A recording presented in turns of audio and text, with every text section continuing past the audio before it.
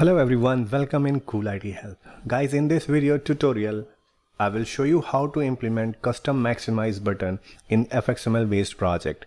Right here you can see the example. This is undecorated stage and we have a minimize button and maximize button. So I have implemented the two things here in this example. So you will learn the iconified this stage and you can restore this stage of its maximum size or you can come back to the same size. Let me show you. So first one is iconified. So the stage is iconified and restored here. Once you click that will be restored. Now once you click on this maximize button so the stage will uh, cover the complete screen of your desktop. Once you click back on this so that will restore its original position. Okay? So we will see the implementation of these two things here in this example. This is very easy. Let's get started. Let me close this first. And here is the, my uh, ready-made project that I have created to demonstrate to you. And this is the simple fxml based project. We have one fxml one controller file okay and uh, one class which has a start method.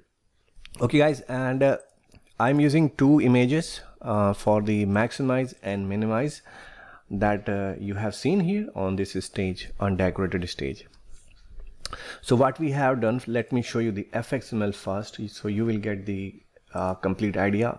So this is my prerequisite setup. So what we have used we have used one anchor pane here and then we have used this is the VBox and uh, we just clicked on uh, this VBox uh, right click and fit to parent. So it has acquired the parent structure. Okay after that I have used one H box because when you put some uh, controls like button on this button uh, we will do click. So the stage will maximize and acquire the complete screen. Okay. So that's why we are using the H box inside the V box. So it grows horizontally. Okay. And uh, here I am using one button for the minimize. So let me show you. So I have assigned the FX ID to this button minimize and uh, one action handler method is uh, connected to this button. So handle min button action method. Okay the same way uh, we have used the second button. So for the maximize the stage so max button is the fx id of this button and uh, this is the action handler method inside the controller for this button. So this is the setup for implement these functionalities. Okay. So and I'm taking you inside the NetBeans IDE and here we will see the code. So we are inside the controller file directly. It's very easy. Just focus on the main code section. So here's the fx id for the first button max button and this is the fx id for the main button. And uh, we have assigned the fx id to this uh, anchor pane because uh, we have to use the object of a stage object inside the control. That's why we have uh, given the fx id to this anchor pane. Okay. And this is the first action handler method for uh, the button main button that will uh, iconify this stage. So code is very straightforward. So come here on this first line uh, so what we are doing we are trying to get the stage object on uh, once we get the stage object so we will uh, call this method set iconified true. Why? Because uh, we are going to click on this uh, minimize button. Let me show you. So this is the fxml this is the minimize button. Okay? Right now no image is appearing. You can set the image here as well in the fxml or you can do it with the help of code. So i will show you. I have uh, used the code to set the image on these buttons. So once that min button is pressed so this code will execute. So we will get the stage object and then we will use set iconify true to minimize to minimize stage. Okay? And now in the same way we have another method handle max button action. And here in this uh, line we are obtaining the stage object. Once we got it so exactly what we have to do first we are going to check if stage is maximized. That means you have a two events like uh, first you have clicked your stage is maximized. Now again you want to click the same button and that will come to its original position okay? That's why we are using is, is maximized method. So this method will check is maximized.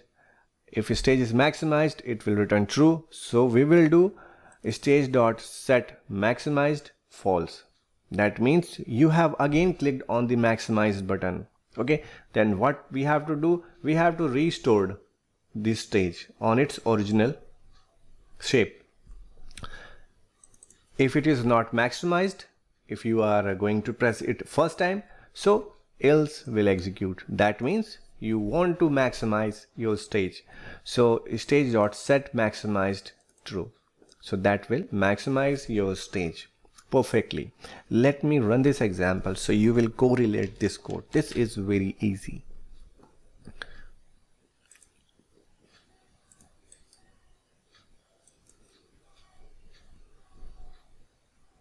here we go. This is our stage but this is undecorated stage so you cannot move this.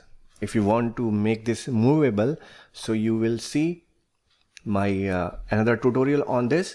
So you can uh, take that code and integrate with this example. So you will get the custom maximize minimize close button with the movable stage. Okay.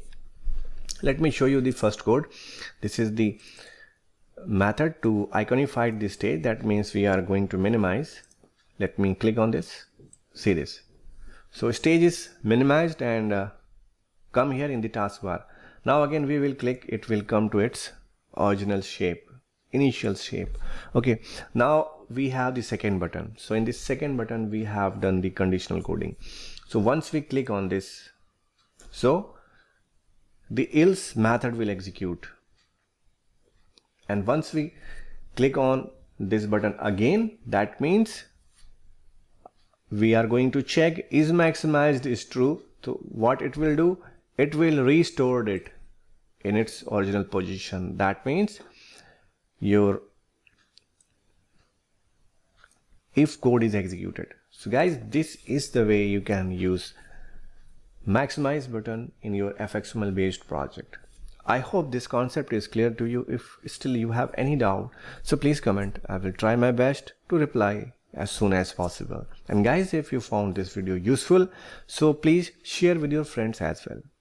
And uh, like this video and guys, please subscribe my channel and press the notification bell icon so you will get the latest video updates on time. And guys, for now, thanks for watching. Cool IT Help.